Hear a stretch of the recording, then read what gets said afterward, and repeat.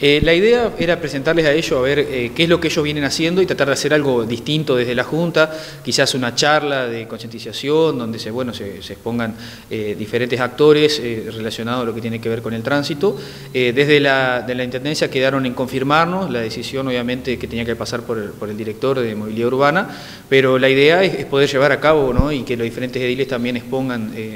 lo que deseen y, y se genere un intercambio y desde la Junta dar difusión a este tema.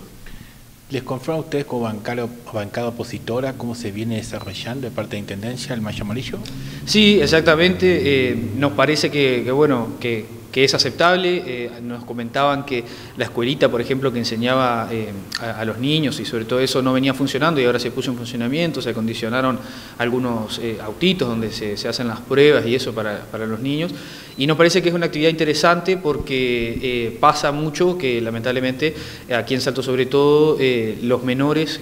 que a veces van solos a la escuela o al liceo, eh, no respetan mucho lo que son las normas del tránsito, entonces eh, poner especial foco en eso me parece que es importante. Y además eh, los datos lo, revelan, ¿no? porque entre creo que 5 y 25 años la principal causa de muerte en Uruguay es siniestro de tránsito. Mateo, ¿ustedes como Junta Departamental tienen proyectado alguna otra actividad en este mes? Eh, nosotros, eh, en lo que concierne a la Comisión de Tránsito, quedamos eh, enfocados en realizar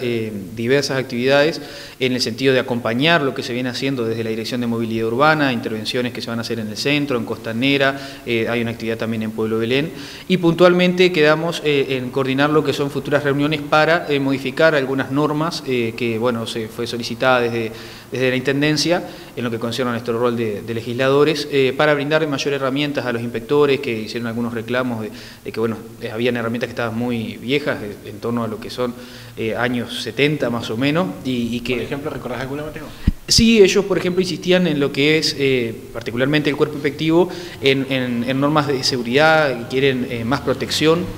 Dicen ellos que últimamente se han reportado muchos casos de agresión a, los funcionarios y bueno, ellos quieren normas que bueno, castiguen con mayor eh, severidad a quienes cometen ese tipo de delitos como huir, eh, insultar o agredir físicamente al cuerpo inspectivo y nos parece que es justo y nosotros nos pusimos completamente a disposición como comisión a, buscar el, amparo legal para que eso, eso se suceda.